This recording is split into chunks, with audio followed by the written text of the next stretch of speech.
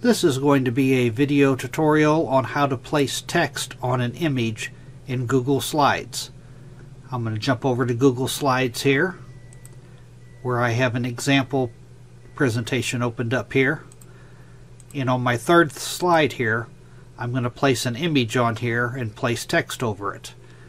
Uh, first thing you need to do is go up to the Insert tab, select it, then you'll go down to Image and over to upload from computer. I'm going to upload this image from my computer.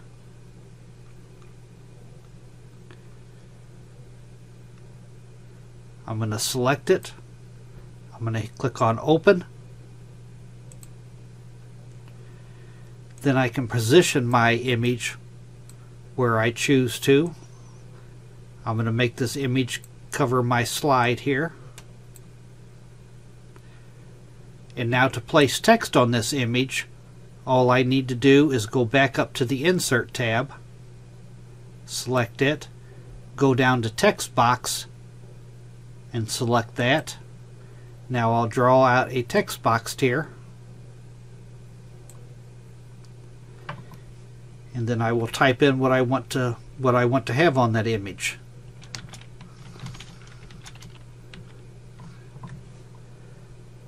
I'm going to hold down my left mouse button and drag across my text. I'm going to make my text bold and I'm going to increase the font size.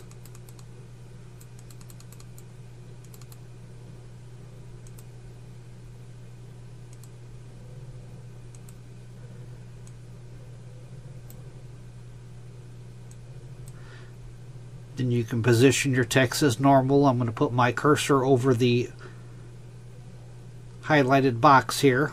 Position it where I want it. Right about there.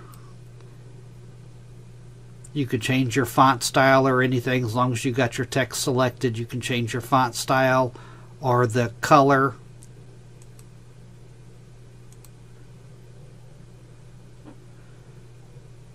And there we have it. There's text on an image.